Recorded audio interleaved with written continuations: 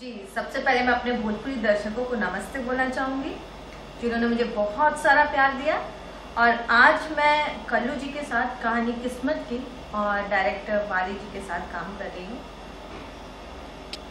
ये एक चुलबुली लड़की है, जो कि थोड़ा एक गलत राह पे भटक गई है। वो कैसे वापस से सही रास्ते पे आती है और उसे कैसे कोई सही रास्ते पे लाता है ये आप देखेंगे फ़िल्म में कि कैसे प्यार सब कुछ बदल देता है। जी, कल्लू जी के साथ इसके पहले मैं एक तुम्हारे प्यार की कसम कर रही हूँ और किया है। और ये मेरी सेकंड मूवी है कल्लू जी के साथ as a couple as a hero तो वो, ये कहानी किस्मत की। और मुझे बहुत अच्छा लग रहा है कि कल्लू जी के साथ मतलब मुझे अपना जोड़ी कल्लू जी के साथ बहुत अच्छा लगता है। और हम दोनों में ट्यूनिंग भी अच्छी है।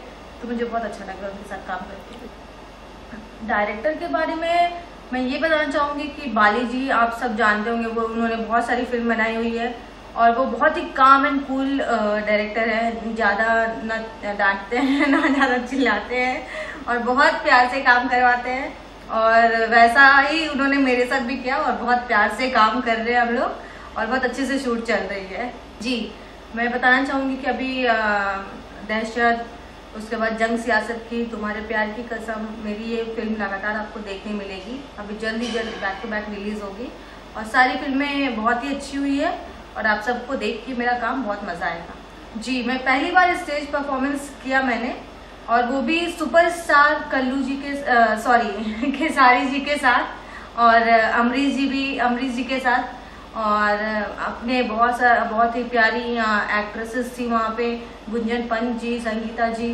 तो इन सब के साथ काम करके मुझे बहुत मज़ा आया, बहुत ही प्यार मिला सबसे। और नेपाल के दर्शक भी बहुत अच्छे हैं। मतलब नाइन्टी परसेंट लोग वहाँ पे भोजपुरी लोग हैं, जो कि बहुत प्यार दिया उन्होंने अपना।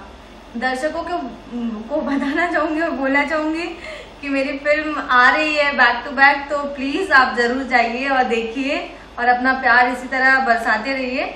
और मुझे पसंद करते रहिए।